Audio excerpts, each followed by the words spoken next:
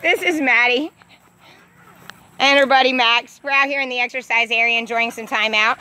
It's Saturday, August 4th. She says, hi. I haven't gotten enough I haven't gotten enough time yet. Yes. Our sweet girl here is still in need of adoption or rescue. And as you can tell, very, very friendly. She's just waiting for her chance to turn over for a belly rub.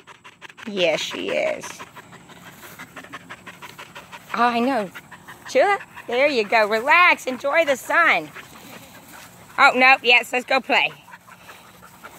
All these babies are still in need of adoption or rescue if anyone can help us with them. Oh, they're good. Max is smart. He's like, I'm going to the shade. Underneath the bench, there's shade.